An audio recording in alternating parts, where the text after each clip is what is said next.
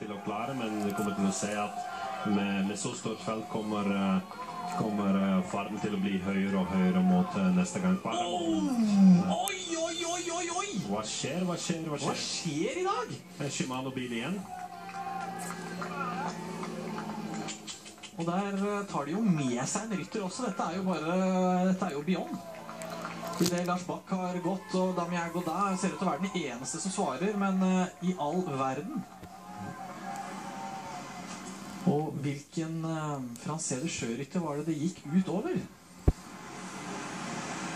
Dette er, dette eh, de må, de må få litt mer rutinerte folk med, altså. Herregud, herregud. Hvem er det som sitter her? Det er ikke Arno Demar, for han sitter i mesterskapstrøya. Jeg skjønner godt at eh, Gabba ikke tar telefonen med en gang. Ja, Mm. det er eh, mye som skjer her akkurat nå.